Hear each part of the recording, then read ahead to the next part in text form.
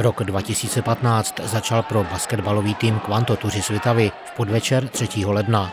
Zaplněná domácí hala na Střelnici sledovala dynamické utkání mezi domácími a favorizovaným mužstvem z Pardubic.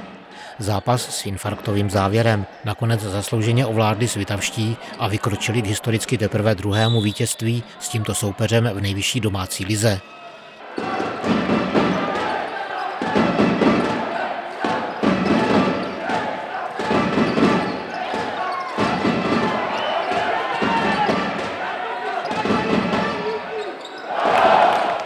Atraktivní průběh zápasu předznamenala už první polovina. Pardubice se sice nejdříve ujali vedení, ale Svitavským se podařilo vývoj zvrátit.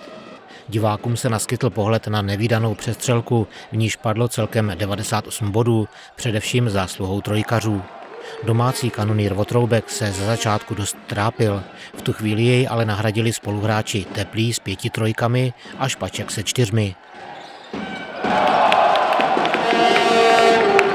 Za první půli jsme dovolili extrémně moc, eh, extrémně moc trojek, tam padlo asi 10. Myslím si, že to byl jeden eh, z klíčových faktorů, jeden z těch dvou klíčových faktorů, který, s kterými jsme se potýkali jakoby v, tom, v tom zápase. Do druhé půli jsme změnili trošku obranu, alebo už i v průběhu té druhé části.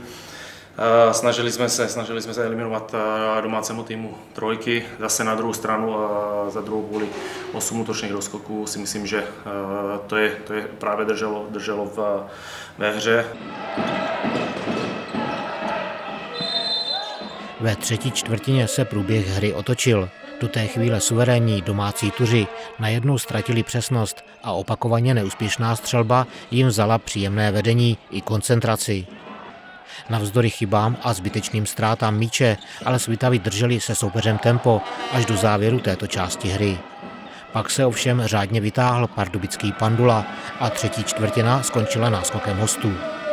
Tlak Pardubic v zápasu se Svitavami nepolevil ani v poslední části hrací doby a ještě sedm minut před koncem vedli hosté o sedm bodů. Pak se ale konečně pořádně přihlásil o slovo Stanislav Votroubek a byl to právě on, kdo hlavně získal Turum vedení zpět.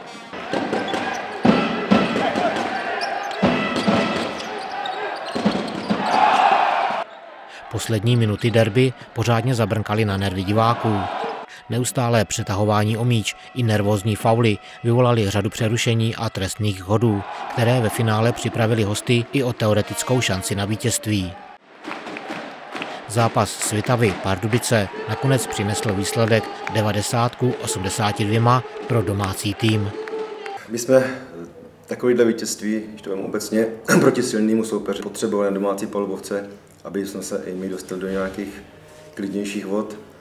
A to se nám podařilo dneska. My jsme se samozřejmě na ten zápas připravovali hlavně s tím, že víme, že Pardubice jsou velice výborný v útočním doskoku. To jsme chtěli eliminovat.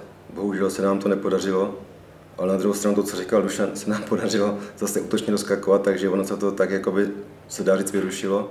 Ale my jsme se chtěli zaměřit na obranu Dušana Panduly a amerického hráče Vola. Eh, bohužel, to jsme si říkali, tak jsme nedokázali, protože Dušan Bandula je ve výborné formě a je to hráč silný v nájezdu, jeden na jedno umí hrát a my bohužel, když se do té situace dostaneme, takového hráče na bránění nemáme a tak jsme povolali 30 bodů, ale zase, když to vemu obecně, tak v tomhle chvíli mi to nevadí, protože jsme ten zápas vyhráli. Dokázali jsme zase eliminovat jiné věci.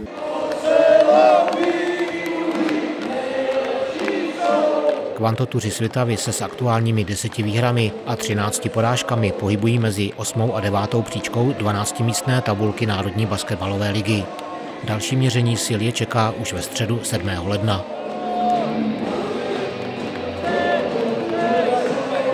Teďka nás čeká jeden zápas venku v Děčíně, což bude velice těžký zápas pro nás samozřejmě, ale nikdo není neporazitelný.